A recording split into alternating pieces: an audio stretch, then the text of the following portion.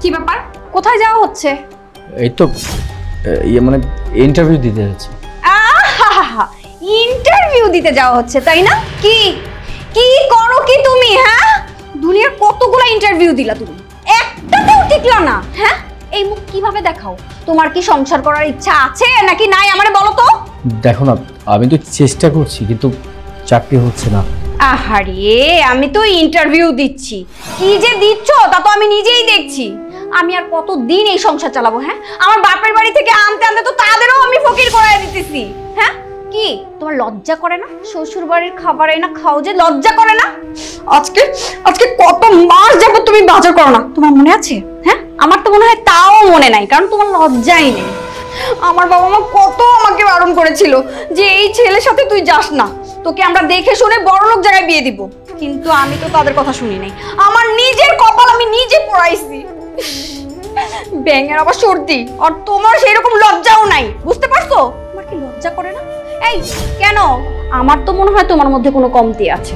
তুমি মনে হয় ঠিক মতো ইন্টারভিউ দিতেই চাও না।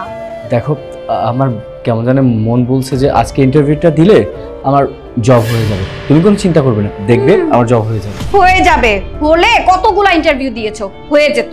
আমার তো মনে হচ্ছে না তুমি জীবনে কিছু করতে পারবে।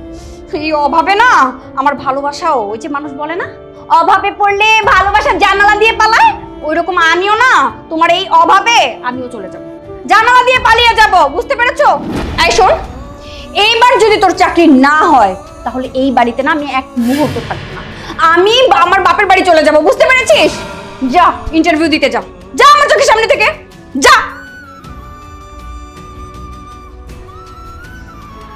সবই আমার কপাল।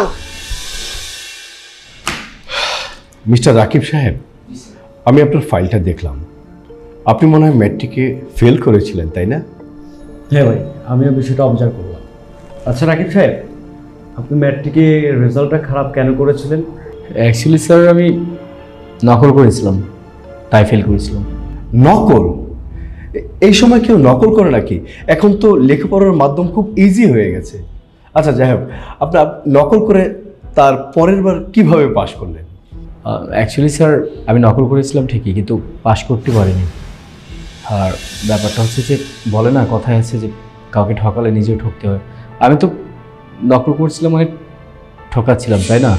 আর আমার একটা টিচার আমাকে বুঝিয়েছিল যে, আসলে নকল করা আর নিজেকে ঠকানো একই। আর তুমি কার সাথে চিট করছ? নিজের সাথে নিজের ক্যারিয়ারের সাথে? তাই আর কি, আমি বুঝি তারপর থেকে আর নকল করিনি। অনেক কষ্ট করেছিলাম, অনেক পরিশ্রম করে পড়ালেখা করেছিলাম পড়ালেখা করে তারপর আমি এক্সাম দিয়েছিলাম। আর তারপর এক্সামে পাশ করেছিলাম রাকিব সাহেব আপনি খুবই স্ট্রেট ফরওয়ার্ড কি বলেন ভাইয়া? হ্যাঁ আসলে আপনি স্টেট ফরওয়ার্ড কথা বলছেন। বিষয়টা খুবই ভালো। তবে একটা বিষয় কি জানেন? আমাদের এই কনস্ট্রাকশন ফার্মে এত স্টেট ফরওয়ার্ড হলে কিন্তু চলবে না। স্যার মানে মানে হচ্ছে খুবই সোজা খুবই সিম্পল মানে মাঝে মধ্যে সত্যকে মিথ্যা বলে আর মিথ্যাকে সত্য বলতে হয়। এটা হচ্ছে বিজনেস জি, রাকিব সাহেব। আসলে আমাদের বিজনেসটা হচ্ছে কনস্ট্রাকশন বিজনেস আপনাকে ক্লায়েন্টকে ম্যানেজ করতে হবে। সেটা আপনি কথা দিয়ে, নয়, ছয়, বুঝ দিয়ে, যেভাবেই হোক ক্লায়েন্টকে আপনি ধরে আনতে হবে। কারণ আপনি যদি একেবারেই সত্যি কথা বলেন, অনেক ক্লায়েন্ট সেটা নিতে পারবে। সে আপনার কাছ থেকে ছুটে যাবে। তাহলে কি হবে? একটা কাস্টমার আমরা হারিয়ে ফেলব। তাতে কি হলো? আমার কোম্পানি সে কাস্টমারটাকে পেল না। আপনার কারণে, তাই না? আপনি সত্য, মিথ্যা মিথ্যা, সত্য, এটা আমি বলছি না, আপনি একেবারেই মিথ্যে কথা বলবেন। যখন যেটা প্রয়োজন হবে, আপনি সেটা সেখানে অ্যাপ্লাই করবেন। সেটা হচ্ছে মূল কথা। দেখেন, আমরা যদি এভাবে গুছিয়ে একটা ক্লায়েন্ট ম্যানেজ করতে না পারি, আমার কোম্পানি কিন্তু টিকবে না। আপনি যতটা বুঝিয়ে, শুনিয়ে একটা ক্লায়েন্টকে ম্যানেজ করতে পারবেন, আমরা কোম্পানি প্রফিট করব লালে লাল হব আপনি চলবেন আমি চলবো ও চলবো ভালো হবে। এটাই হচ্ছে আসলে আমাদের বিজনেস আমি এটাকেই বলতে চাচ্ছি আপনাকে একটু মিথ্যে কথা বলতে হবে। কি পারবেন না? স্যার যেহেতু আমি ম্যাট্রিকে একবার ফেল করেছিলাম তারপর থেকে আমার টিচার যে আমাকে শিখিয়েছিলেন সত্য কথা বলা আর ভালো কাজ করা। সো স্যার আমি চাচ্ছি না আর কি সত্য কথাকে মেরে ফেলি আর মিথ্যে কথাটা আমার ভিতরে নিয়ে নিই। আমি স্যার পারব না। Please stand sorry sir Rakib সাহেব একটু বিষয়টা ভেবে দেখুন। চাকরিটা কিন্তু অনেক ভালো। এক লক্ষ টাকা স্যালারি এই চাকরির জন্য সবাই লাইন ধরে থাকে। কিন্তু আপনাকে দেখে মনে হচ্ছে আপনি পারবেন। একটু বিষয়টা ভেবে দেখেন। হ্যাঁ রাকিব সাহেব। প্লিজ বিগ স্যালারি অনেক বেতন কিন্তু। এইবার যদি তোর চাকরি না হয় তাহলে এই বাড়িতে না আমি এক মুহূর্ত থাকব না। আমি আমার বাপের বাড়ি চলে যাব বুঝতে পেরেছিস? স্যার আসলে আমি অনেক জায়গায় ইন্টারভিউ দিয়েছি, কিন্তু ইন্টারভিউ দেওয়ার পরও আমার জব হয়নি। তাই যখন আমি আপনার কাছে ইন্টারভিউ দিতে আসছিলাম, আমার ওয়াইফ আমাকে বলেছে যে আজকে যদি চাকরি না হয়, তাহলে সে বাড়ি ছেড়ে চলে যাবে।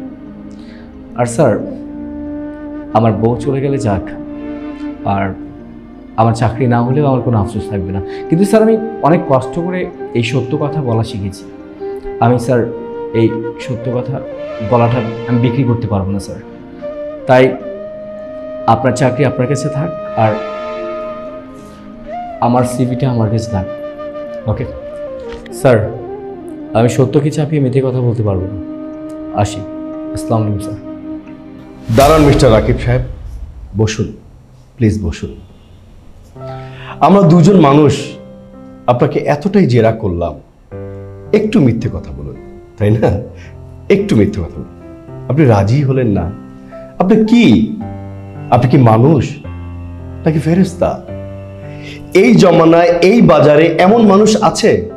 আমি এই প্রথম দেখলাম। তো যাই হোক, আসলে একটা কথা কি জানেন? আমি আপনার মতো একটা মানুষকে খুঁজছিলাম।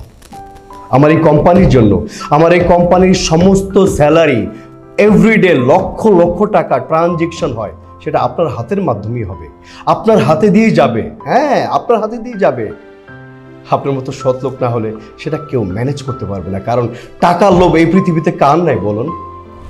আচ্ছা রাকিব সাহেব স্যালারি কত নেবেন বলুন। স্যার আমি ঠিক বুঝতে পারছি না। বুঝতে পারছেন না? মানে চাকরিটা আপনার হয়ে গেছে। স্যার আপনি কি সত্যি কথা বলছেন? আমি চাকরি হয়ে গেছে আমার। আর একটা কথা শুনুন। বাসায় যাবেন মিষ্টি নিয়ে যাবেন। আপনার বউকে বলবেন তোমাকে যেতে হবে না। বাড়িতে থাকো। এই মিষ্টি খাও, আমার চাকরি হয়ে গেছে। Okay? Congratulation congratulation I am happy for you mister Rakib সাহেব